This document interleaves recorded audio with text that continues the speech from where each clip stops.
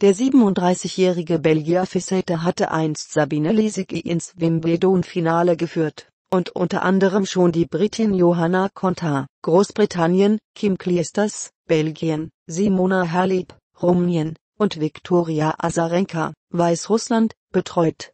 Mit Wim fängt ein neues Kapitel an, und ich freue mich darauf, nächste Woche mit ihm zum ersten Mal auf dem Platz zu stehen, sagte Kerber.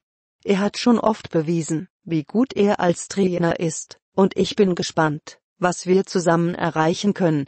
Ihr bisheriger Trainer Torben Belz gehört damit nicht mehr zum Team.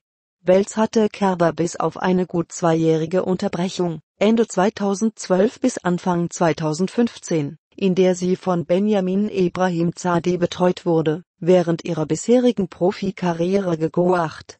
Ich kann gar nicht sagen, wie dankbar ich Torben bin, für alles was wir in den letzten Jahren zusammen erlebt haben. Er ist nicht nur ein Trainer gewesen, sondern auch ein richtig guter Freund, und wird das auch bleiben, meinte die Kielerin. Kerber hat 2017 kein Turnier gewonnen und stand nur in einem Finale, Monterey.